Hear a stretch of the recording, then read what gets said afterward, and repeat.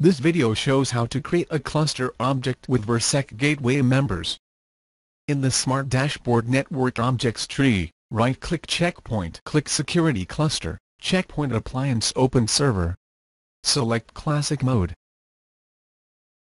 In the cluster properties, enter a name for the cluster and the cluster IP address.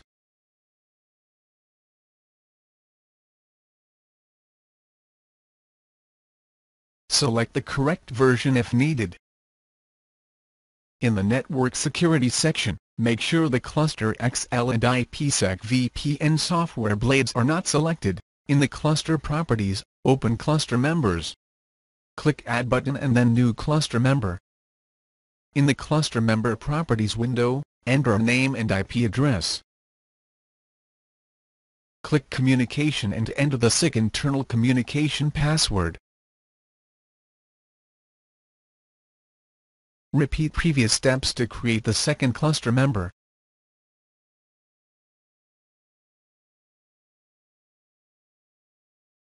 In the third-party configuration window, make sure that the hide cluster members outgoing traffic behind cluster's IP address and use state synchronization are not selected.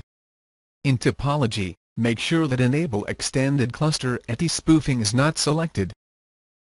Click Edit and then get topology for each cluster member.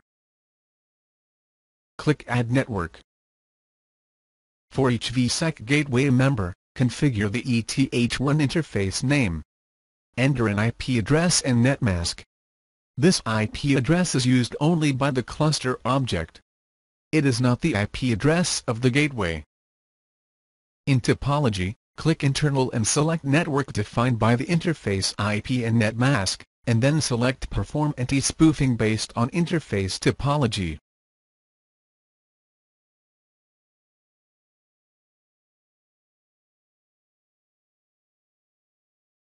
Select ETH1 Network Objective as first sync. Click OK. Thank you for watching.